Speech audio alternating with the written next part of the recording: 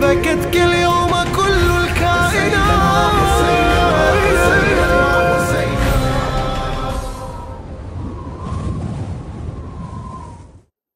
أعوذ بالله من الشيطان الرجيم. بسم الله الرحمن الرحيم. الحمد لله رب العالمين. بارئ الخلائق أجمعين. باعث الأنبياء والمرسلين.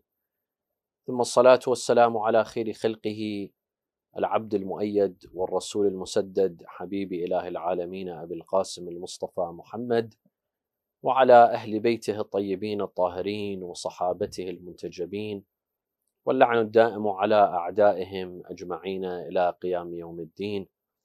السلام عليك يا أبا عبد الله وعلى الأرواح التي حلت بفنائك وأناخت برحلك. عليكم مني جميعا سلام الله أبدا ما بقيت وبقي الليل والنهار. السلام على الحسين وعلى علي بن الحسين وعلى أولاد الحسين وعلى أصحاب الحسين جميعا ورحمة الله وبركاته. قال الله تعالى في كتابه الكريم أعوذ بالله من الشيطان الرجيم ومن آياته خلق السماوات والأرض واختلاف ألسنتكم وألوانكم إن في ذلك لآيات للعالمين صدق الله العلي العظيم This year year 2020, the year of wonders, the United States of America witnessed a very heinous crime. The entire world was watching. And that crime was that an individual, a black individual, George Floyd, was killed in a very monstrous way, in a very barbaric way. Why? Was he a, a mass killer? Was he a serial killer? Was he a terrorist? No. He was killed for a misdemeanor, for a misdemeanor, if it's considered a misdemeanor, over $20. But the actual reason for his death in that gruesome way, that suffocation, that he had to endure was because he's black, was because of the color of his skin. If it was someone who was white, if he was white, he would not have suffoc- suffocated in the way that he did. He would not have been shouting in the last moments of his life, I cannot breathe. But because of his skin color, we saw what happened to him and the entire world saw, and the entire world became a witness to this atroc- atrocious crime. This is a, a pattern in a series of racial discrimination that we've seen in the United States of America. This is not new, unfortunately to say. This is not new to the United States of America. The world was outraged. There were riots that were inspired all across America during the pandemic. Regardless of the pandemic, people took this to the streets to revolt, to riot, to speak out against racial oppression and racial discrimination, to speak out against the oppression against black lives. Black lives do matter, just as white lives matter. This should not have taken place. Not in this time, not in this age, when people are supposedly educated. Now that we should know about racial discrimination, we should know that all humans are created equally, as it states in the US Constitution. Yet racial discrimination has become part of American history. From the moment that Columbus landed his ship, when Columbus arrived to America, to the Americas, from that day till today, there's been racial discrimination. What happened to the indigenous people of America? What happened to the Native Americans? How were they massacred? How were they treated? How were their lands and spaces taken away from them and their homes destroyed? Why? If they were blonde, blue eyed individuals, would this have happened to them? No. But because of their skin color and because of their culture, they were seen as inferior to the white race. They were seen as subordinate to the white race. Thus, they were wiped out and there were massacres. If you read about American history, we will, we will read about atrocious tragedies that took place against the Native Americans. And then the history of slavery in America. Black slaves that were brought, imported from Africa. They were brought to America to work on fields, to work as slave farmers. The history of America is, is full of these things, is full of these scenes. Slavery has become a major part of American history. How blacks were treated, how black slaves were treated. Until the Civil War, until the emancipation, until black slaves were freed and slavery ended. And Abraham Lincoln, President Abraham Lincoln, had a role in this. But he had to pay a major price. He had to pay, there was a cost for freedom. And Lincoln paid for this cost through his life. He was assassinated. For what reason other than to bring equality to black Americans and to end slavery. Did it end with his death? Did it end with the Civil War and the emancipation of black slaves? No. Blacks in America were still treated unfairly. It was black segregation. There were black schools and white schools.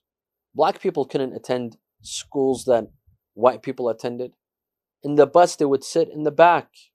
There were, e- there were even water fountains, water fountains for black people, and there were other water fountains for white people.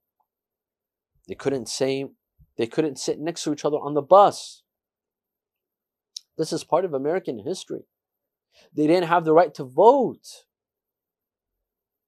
until just until the past decades, less than a century ago, or almost a century ago, where black people were allowed to vote. This is all part of American history. We saw in America black civil rights leaders that had to speak out and fight for their rights. Here in America, we have an entire month dedicated to Black History Month, to Black History. And that is the month of February, where we have to remind ourselves of the atrocities, of the oppression, of the injustice that took place against blacks in America. And, and February has to be celebrated as such because we will forget. We're human beings. We forget of the tragedies that we and our forefathers and the generations before us committed. We have to remind ourselves why, so that it would never happen again. Because if we allow it to, it would happen again against the black race. Black civil rights leaders who fought very bravely for their rights. Harriet Tubman, that fa- famous heroine that became a, a national hero or heroine rather, who fought for the rights of black Americans. Martin Luther King, who had a dream. I'm sure that today, if Martin Luther King was alive, he would be very disappointed at the state of what has happened. How black Americans are being treated unfairly and unjustly. Malcolm X, who fought for the rights of black Americans. and for and called for the equality between races and between colors. Yet these people had to sacrifice their lives. They paid an ultimate life. Uh, they paid an ultimate price, and that was their life, like Malcolm X. He became a martyr for speaking the truth, for fighting for their rights. It's becoming part of American history. The KKK movement, till today, it exists. And their hatred for the black race and for black Americans. This is part of the culture. This is part of the it's an ideology that exists firmly till today. And it's very widespread all across America. In fact, all across the West. This racism against blacks. I remember in 1992, I was young, I was only 10 years old.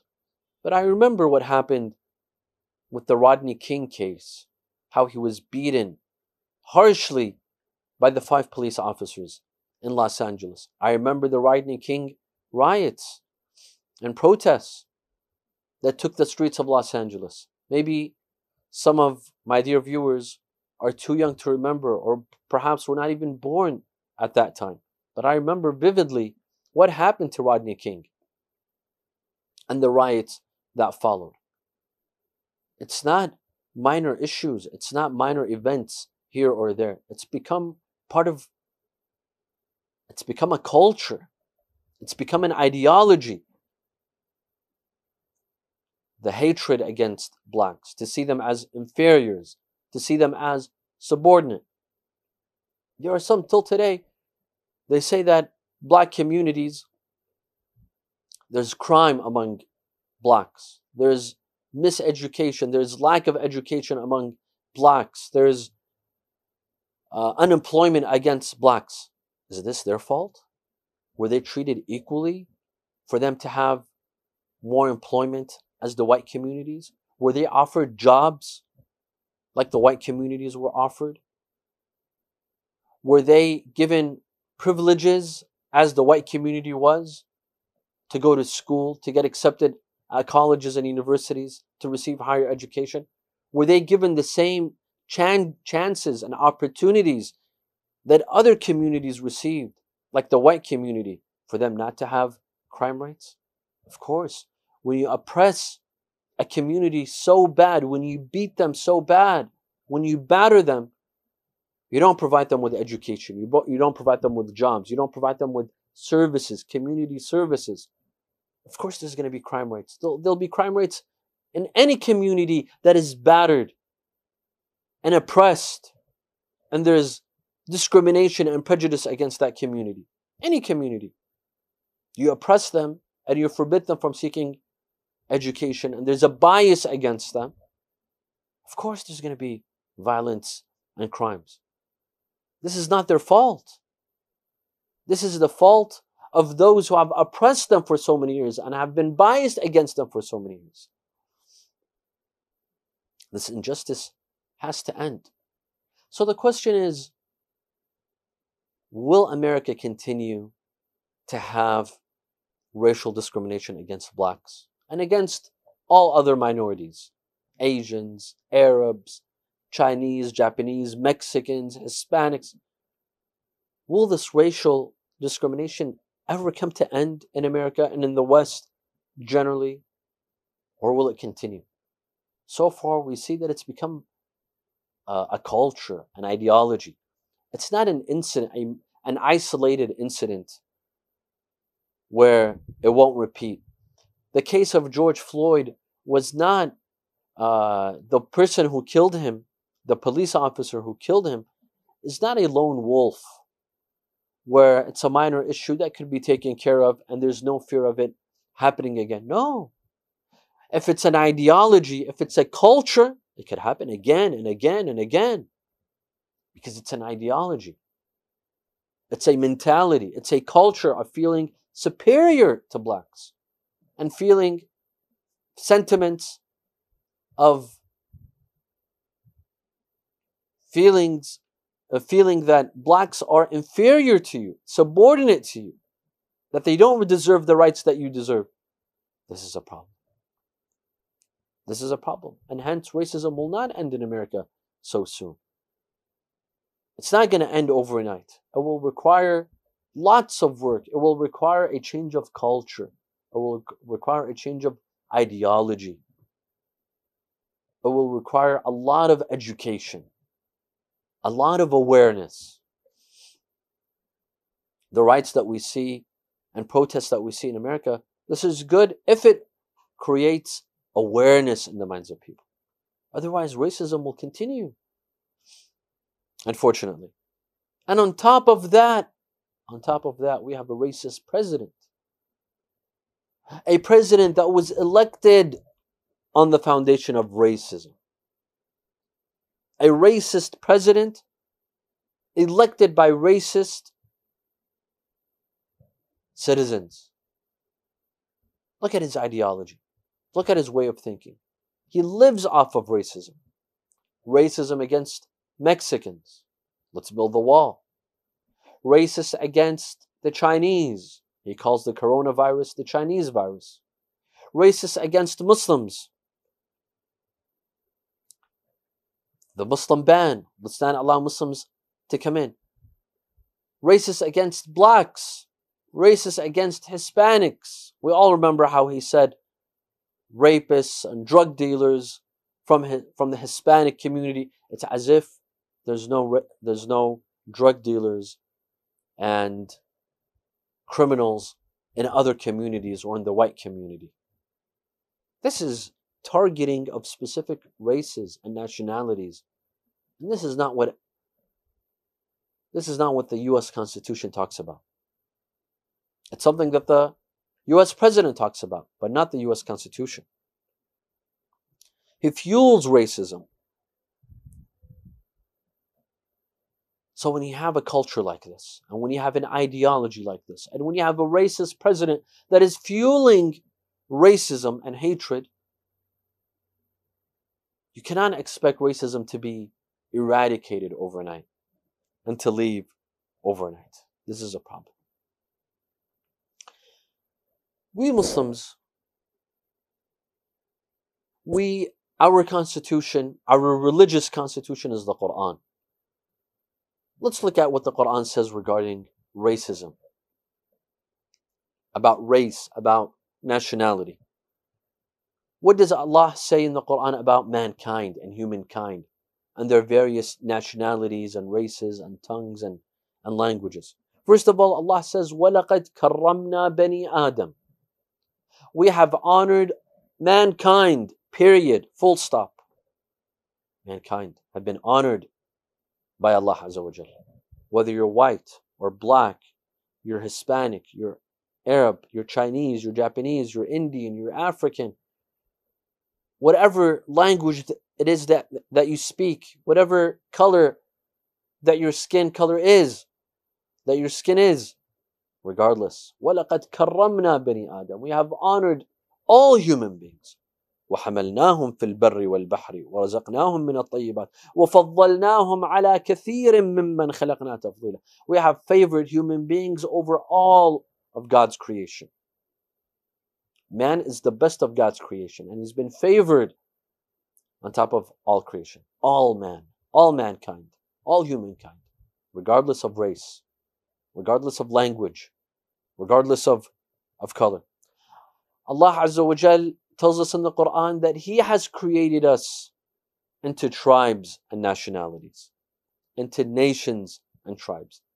He's telling us that your differences in color and in nationality and in language, this is because of me. I created you in this fashion. يا أيها الناس إنا خلقناكم من ذكر وأنثى we created you from a man and a woman, meaning Adam and Eve. وَجَعَلْنَاكُمْ شُعُوبًا وَقَبَائِلًا And we made you into tribes and nations. We made you into nations and tribes, rather. شُعُوبًا means nations. وَقَبَائِل means tribes. We made you into nations. We made some of you African. We made some of you Arab. We made some of you Chinese. We made some of you European, Spanish, English, Indian, Pakistani, and so on and so forth. We created these nations. We made you into different nationalities and different tribes.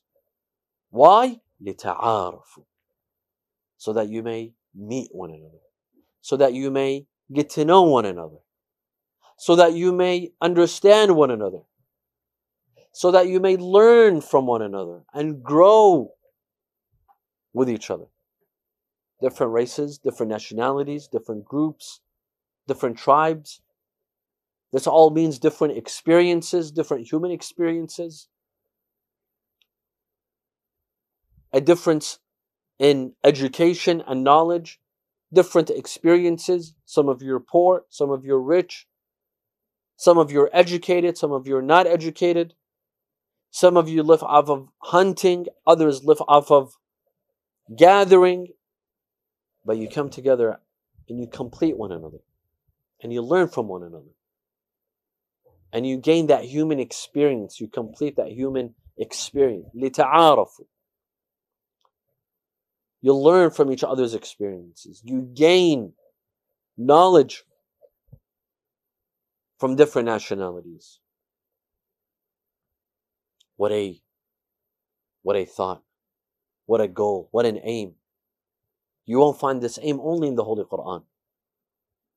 What a beautiful aim. That we're different. Allah purposely created us differently so that we grow together. We complete one another. Imagine if all human beings were the same, if we were all white and we we're all middle class and we all worked as the same, we all have the same job. Imagine how life would be boring and dull. In fact, we wouldn't be able to live. We're able to live because we think differently and we work differently. And we have various jobs, we have various positions, we have various duties and responsibilities. We have different minds. We have different cultures. We have different backgrounds. When all of these come together, when all of these cultures and, and backgrounds and experiences, they come together to work together, imagine what they could do together. Imagine where humans could be if they respected one another and appreciated one another. I appreciate that culture and nationality for who they are, not for them wanting to be like me. There's no appreciation in that. I appreciate the Chinese, for example, because of their rich culture and because of where they've reached and what they've achieved and what we could do together. And I respect the African culture for what they've done and what they've achieved and their background and their history. And I accept and I appreciate. It's not about acceptance. Acceptance, this is adhaful iman. This is the weakest form of faith to accept one another. It's not about accepting one another. It's about appreciating one another. Do we appreciate this wide spectrum of colors, races, nationalities, tongues? Do we appreciate it? Because this is what makes us as human beings. This is the reason why we were created differently. Not just to accept one another, but to appreciate one another, to work together. I come with my background, my history, my experiences, my knowledge. I come, I come forward, and someone else comes with his history or her history, their background, their culture, their knowledge, and others come from all, all across the world, and we put our knowledge together to work together. Because that is how we will rise as human beings. That is how we will improve as human beings. That is how we will reach our full capacity and be human beings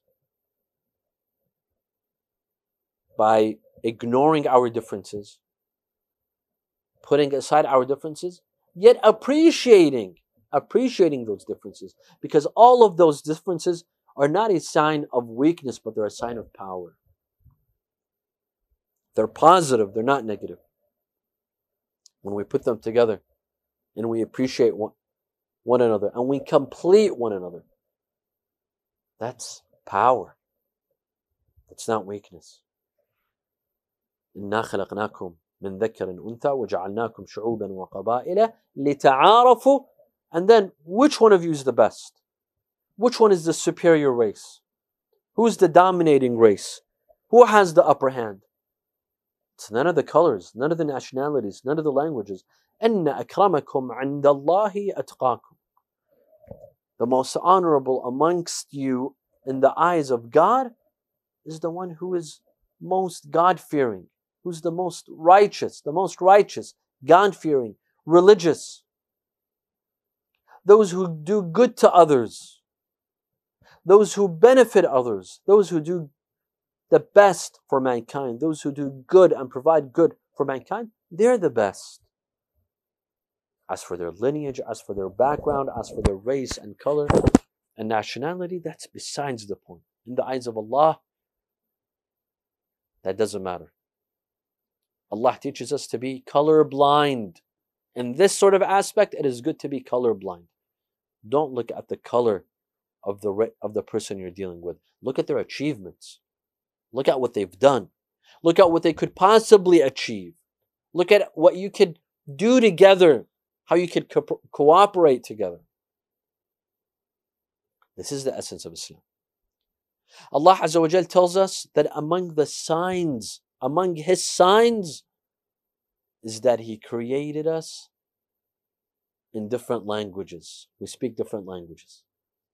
ومن آياته and from amongst His signs خلق السماوات والأرض the creation of the skies and the earth واختلاف ألس واختلاف ألسنتكم وألوانكم إن في ذلك لآيات للعالمين the differences in your languages and in your colors. This is a sign of God.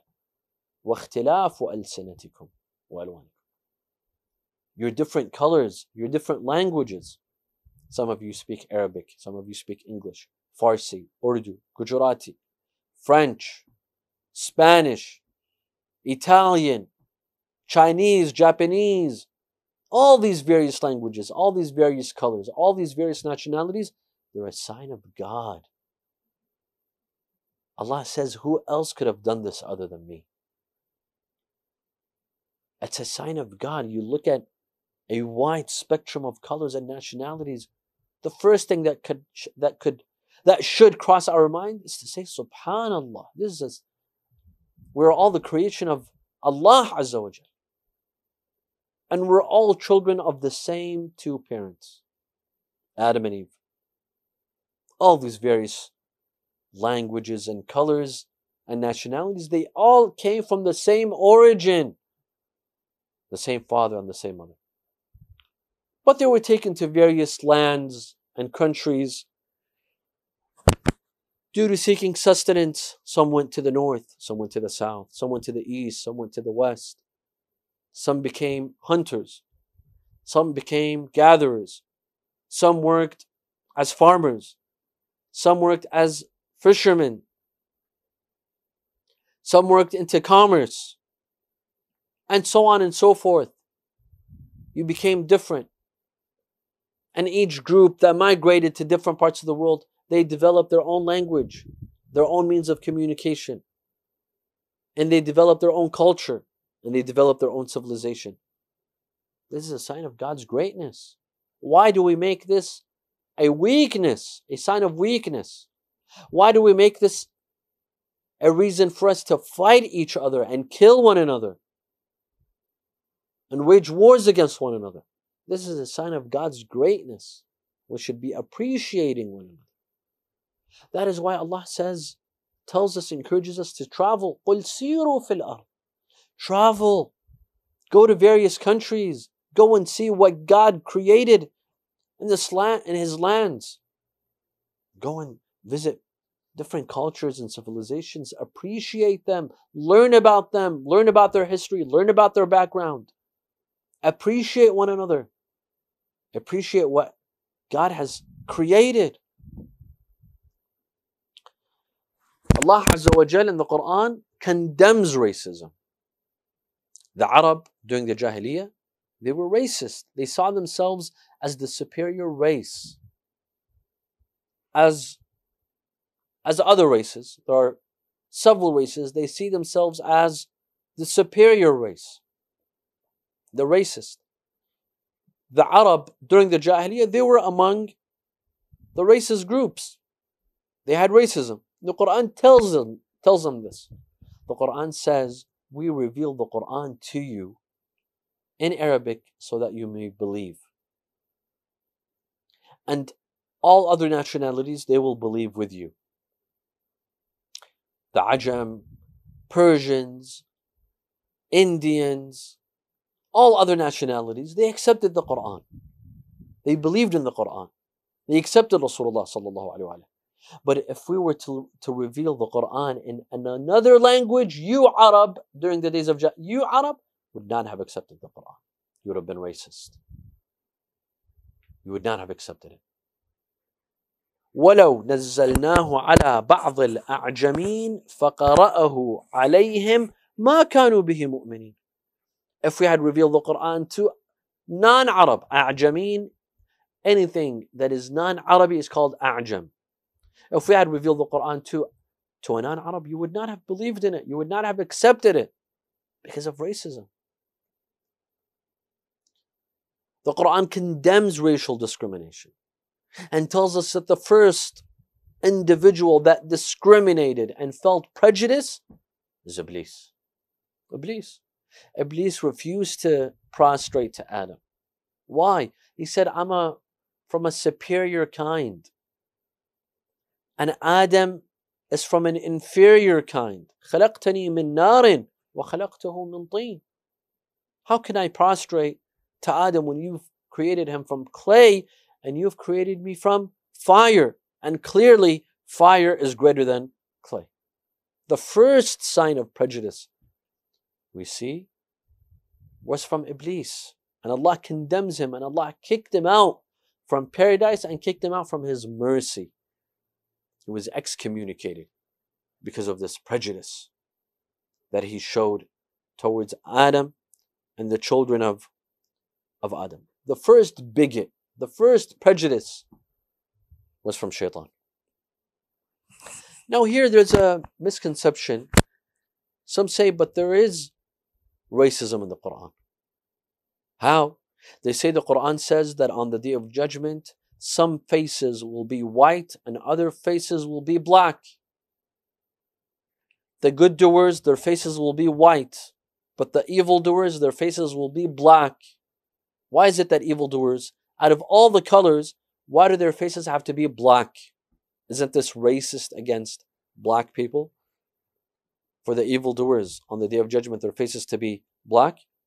The Quran says, يَوْمَ تَبْيَضُّ وُجُوهٌ وتسود وجوه فأما الذين اسودت وجوههم أكفرتم بعد إيمانكم فذوقوا العذاب بما كنتم تكفرون One day, on a day, meaning the day of judgment, some faces will become white, other faces will become black. Those that became black, we will ask them, Did you disbelieve in what? Did you disbelieve? Then taste, taste what you disbelieved in. فَذُوقُوا الْعَذَابَ Taste punishment because of your disbelief. They say, see, there's discrimination in the Quran, there's racial prejudice in the Quran. But this misconception has clearly misunderstood the verse, as has misunderstood the Quran. In the Arabic language, white, the white, the, the widening of the face and blackening of the face. This is metaphoric. This is figur- figurative. It is not literal. The Quran doesn't mean literally that some faces will be white and literally that some faces will be black. No. In the Arabic language, this is a usage and it has nothing to do with white people and black people. when someone is proud of what they've done, they've done something good, they say, My, what my face is white. Wajhi abyad. Because I did this or I did that. Meaning, I have nothing to be embarrassed of. I have nothing to be ashamed of. Rather, I'm proud, so my face is white. And if someone is embarrassed, ashamed, he'll say, Wajhi aswad. My, my, my face is black. This has nothing to do with white or black people. White and black, black specifically, it's a symbol of sadness. It's a symbol of sadness. It's a universal symbol of sadness. It has nothing to do with black people. That is why anywhere across the world, when someone dies, their relatives wear black. Is that being racist because they wear black? No.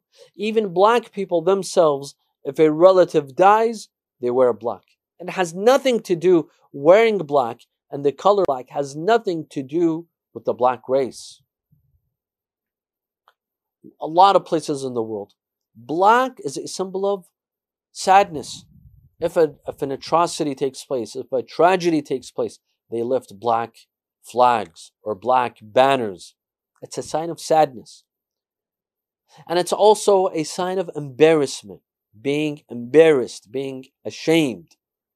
It has nothing to do with the, the black race When the Quran says, يَوْمَ تَبْيَضُّ وُجُوهٌ وَتَسْوَدُّ وُجُوهٌ. Absolutely not. It's a sign of embarrassment. It's a sign of being ashamed. It has nothing to do with the black race.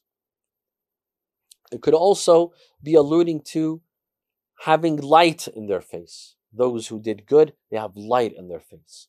Those who did not do good do not have light in their face. We know this because there's another verse that says, يوم ترى المؤمنين والمؤمنات يسعى نورهم بين أيديهم. On a day, on the day of judgment, you will see the believing men and women, their light precedes them. There's light coming out of them. Because good deeds, iman, faith, all of this translates into light. There's light ahead of them.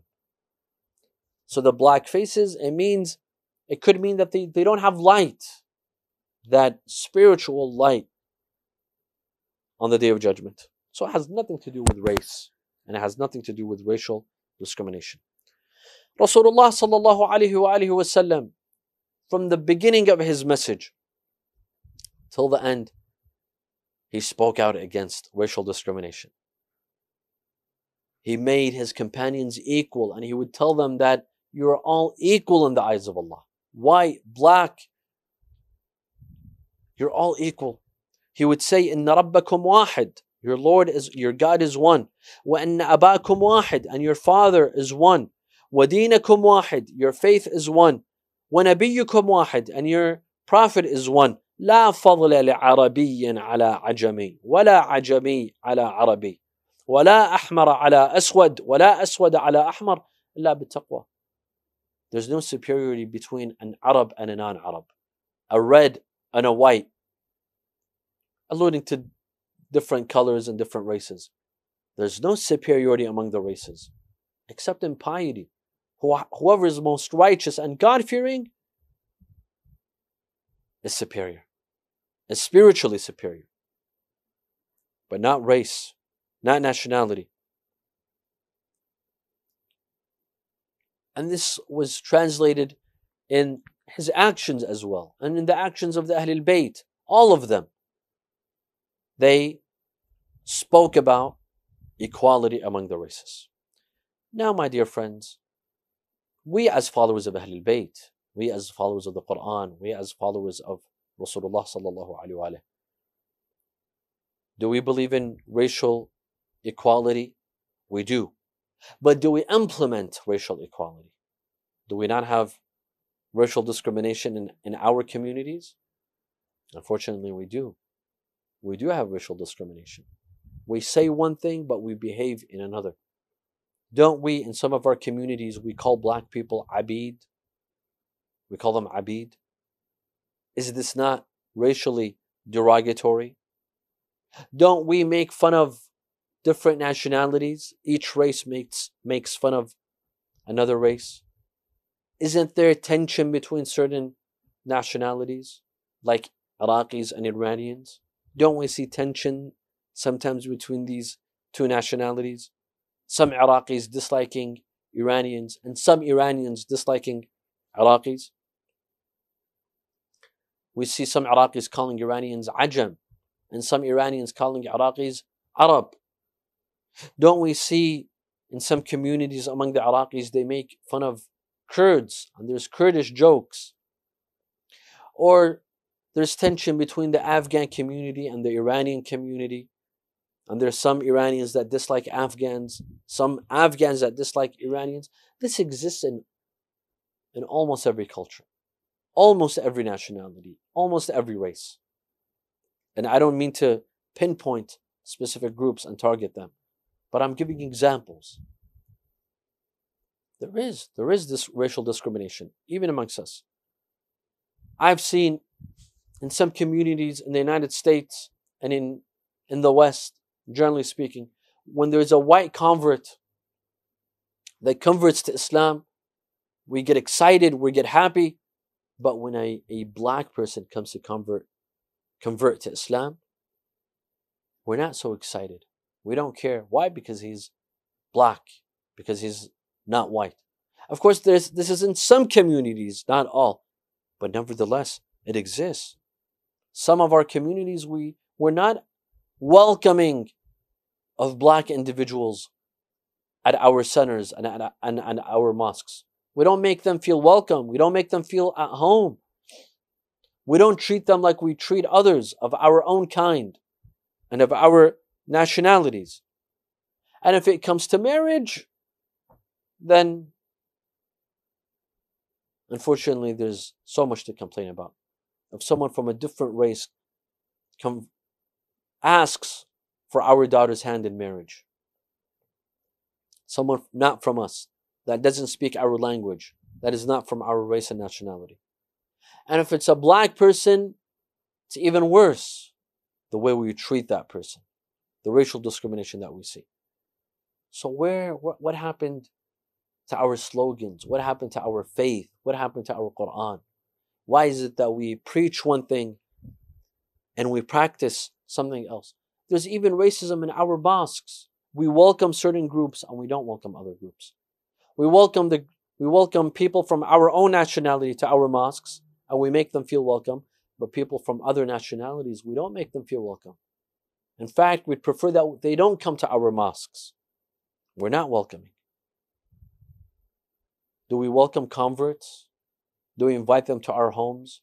During Ramadan, when we invite people over for iftar or suhoor, do we invite converts as well? White or black? Do we take care of them? Do we cater for them? Do we welcome them?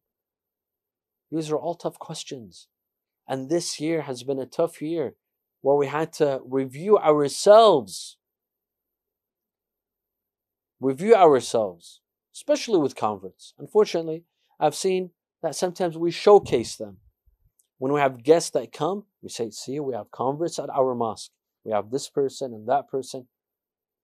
But how much do we really respect them? How much do we really welcome them? What role do we give them at the mosque? Do we put them on the boards? Do we allow them to speak? Do they have real roles at our mosques or are they showcased? Racial discrimination has to stop. And we Muslims, we cannot object at others if we ourselves have racial discrimination in our mosques and in our centers, let's learn. Let's learn from the Ahlul Bayt. We have good examples for us. Look at Rasulullah sallallahu alaihi wasallam. How he treated Bilal. The adhan, saying the adhan was a great honor. It was a great honor. Today, I sometimes, you know, before the corona pandemic, when we'd go to the mosque, I would see some individuals when they're asked to say the adhan, they run away from it. They think that they're being disrespected when they're asked to say the adhan, especially the youth. They don't want to say the adhan. Well, this is an honor. Rasulullah gave this honor to Bilal al-Habashi. There were a lot of others that wanted this honor. Ya Rasulullah gave it to Bilal. And even after the conquest of Mecca, Rasulullah asked Bilal to stand on the Kaaba. Bilal stood on the Kaaba and he said the adhan. Uh, there were some newly, there was some new converts to Islam from the people of Quraysh, from the people of Mecca. One of them, he said, two friends, they were speaking to one another. One of them said, Rasulullah didn't find anyone other than this black crow to say the adhan. Very demeaning. The other one said, Thank God that my father is dead. Because if he were alive today, he would die from the sight of seeing Bilal al Habashi on the Kaaba. Rasulullah had to fight this sort of culture, this sort of mentality, this sort of ideology. He had to educate this sort of people. And then after him, Amir al Mu'mineen one of his closest companions was Maytham at Tamar, a close companion of Amir al Mu'mineen. A black, a slave. Amir al Mu'mineen bought him, he educated him, and he became one of Amir al Mu'mineen's closest companions. And in Ashura, in Karbala, we see Jawn Mawla Abi Dhar al Ghifari, the companion of Imam Hussein alayhi salam. How Imam Hussein treated him, how he gave him permission to fight. And after Jawn falls on the ground, how Imam Hussein rushed to him and prayed for him and put his cheeks on the cheeks of Jawn, a gesture that he only did with his son Ali al Akbar. And he didn't do with anyone else. Imam Hussein treated Jawn like he treated his son Ali al Akbar. This is the Ahlul Bayt. This is Islam. This is what we should learn from. This is what we should implement. On the eve of the 5th of Muharram, we remember Muslim ibn Aqil, the cousin and messenger of Imam Hussein, sent to Kufa. Muslim ibn Aqil was sent to Kufa by Imam Hussein to prepare the path for Imam Hussein's arrival to Kufa.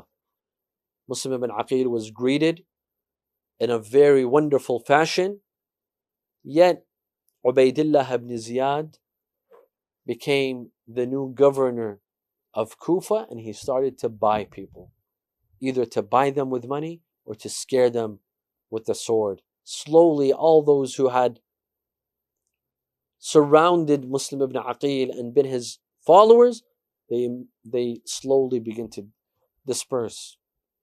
One night, Muslim ibn Aqil prayed in Masjid al Kufa, he prayed al Maghrib, the masjid was full. He looked behind him between Maghrib and Isha, the masjid was half empty. Half of them left. When he finished Al Isha, three fourths of the mosque was empty. By the time he reached the door of the mosque, the entire mosque was empty. They abandoned Muslim ibn Aqil. The people of Kufa abandoned Muslim ibn Aqil. Muslim ibn Aqil walked in the streets of Kufa until he stopped at the doorstep of Taw'a, this righteous woman. She came out. She asked him, Do you need anything? She did not recognize who he is. He said, Bring me some water. She, bring, she brought him water. After he drank, she told him, Ya Abdullah, it is not proper for you to sit at my doorstep. Go to your family. Go to your tribe. Go to your family. He said, I do not have a family. I do not have a tribe. She said, Who are you? He said, أنا Muslim ibn Aqil, غدر بي أهل الكوفة. I am Muslim ibn Aqil. I am the one who was betrayed by the people of Kufa. She welcomed him in, in her house.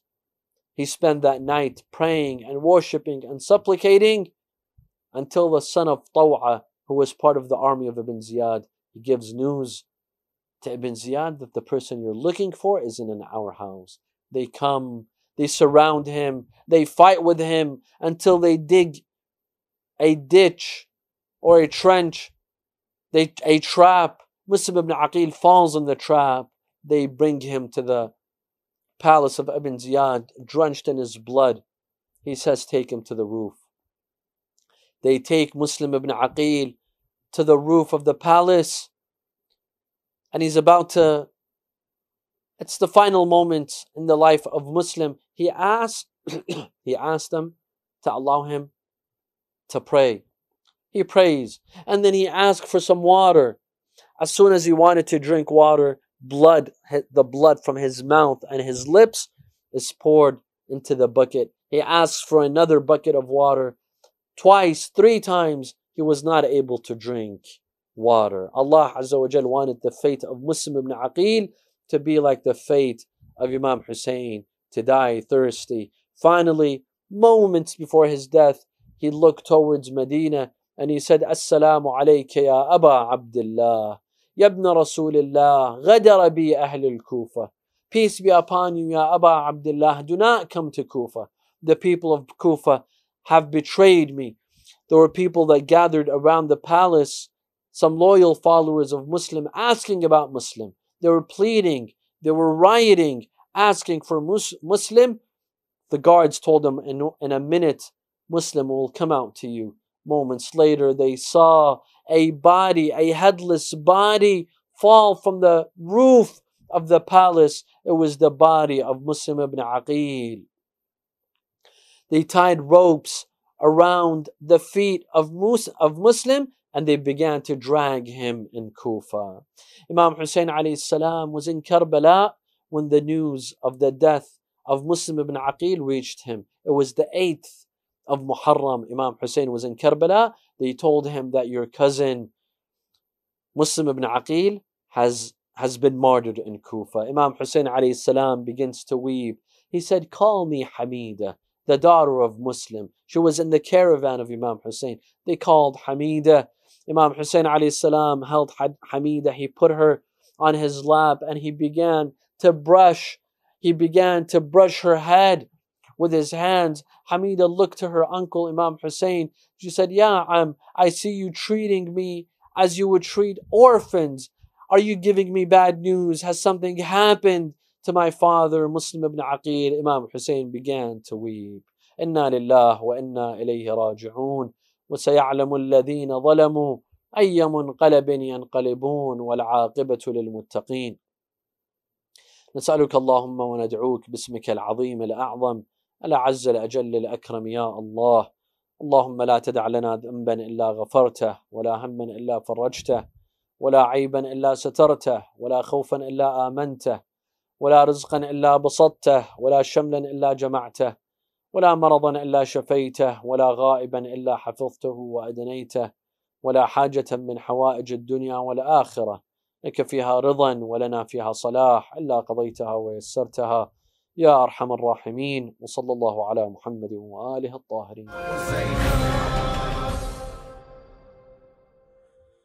Bismillah ar-Rahman ar-Rahim. Abdullah lakum al-ajr. Dear viewers of MYC and IIA, may Allah accept your a'mal tonight, who was a trusted, loyal uh, servant and advisor for Imam al-Hussein alayhi salam. His loyalty is unmatched. His name is Muslim ibn Aqil, who were to gain support and give a report to Imam al-Hussein alayhi salam. But unfortunately, the angel of death also arrived in Kufa. And the poet Nuri Sar Angel of death for me came. In Kufa calls out my name. And if he returns my soul to my Creator, I'm scared he'll then search for Hussein in Karbala. In Kufa he calls out my name. Calls out my name. I am Muslim and I have a pledge with Hussein to gather support and topple the tyrant's reign. They wrote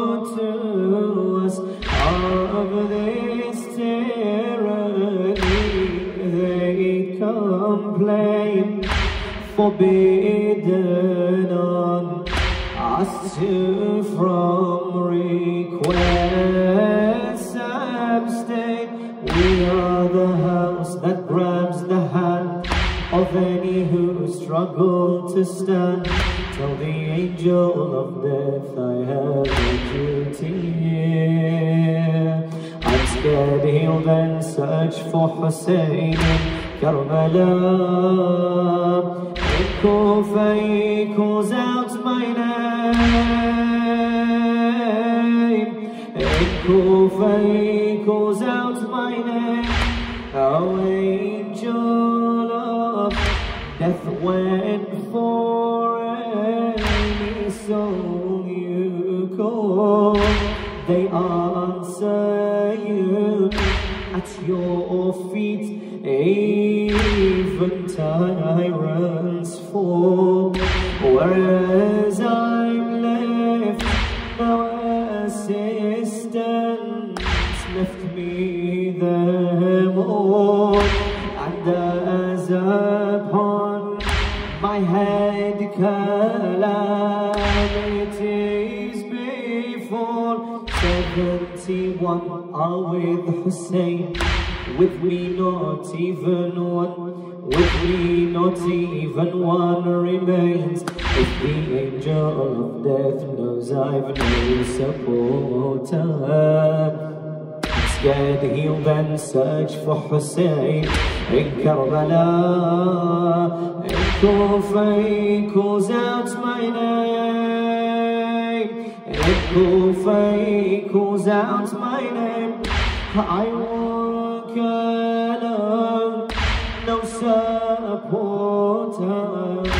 from street to street. The angel of death calls out, Muslim, your death greet. I feel the clutch of failure on my heartbeat because of me. Will Hussein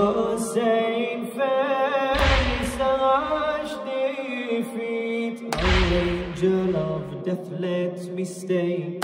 For more support, I'll swear I'll pray. Oh, angel of death, let me stay. For more support, I swear I'll pray. For if this angel takes me to the hereafter, I'm scared he'll then search for Hussein in Karbala. Kufa he calls out my name. Kufa he calls out my name. It may be so that martyrdom I'm fating, but my reply, my master Hussein's awaiting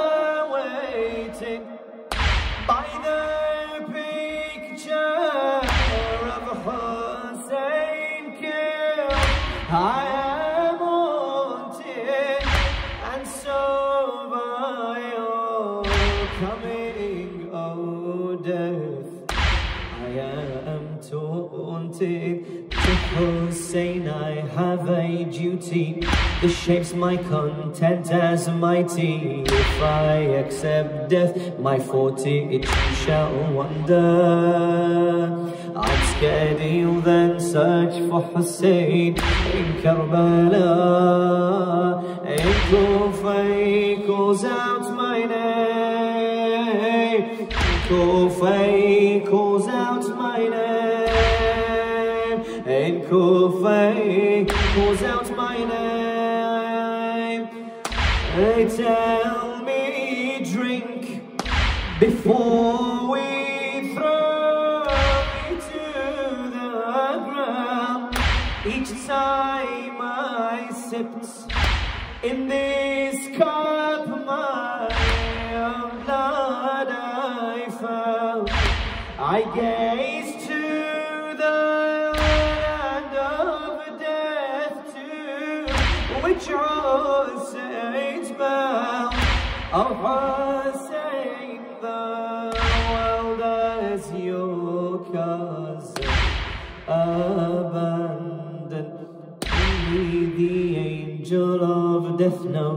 what hardship throughout my blood flows. No, it's not because death or martyrdom I fear. I'm scared he'll then search for Hussein in Karbala. I'm scared he'll then search for Hussein in Karbala. In Kufa he calls out my name. He calls out my name. And they tell me drink before we throw you to the ground. Each time I sipped in this cup my own blood I found. I gaze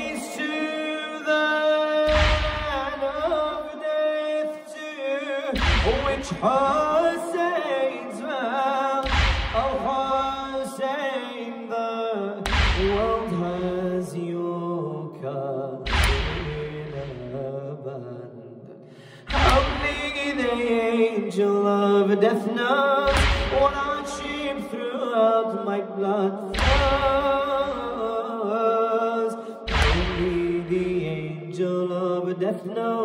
what hardship throughout my blood flows. Only the angel of death knows what hardship throughout my blood flows. No, it's not because death or martyrdom I fear. I'm scared he'll then search for Hussein in Karbala.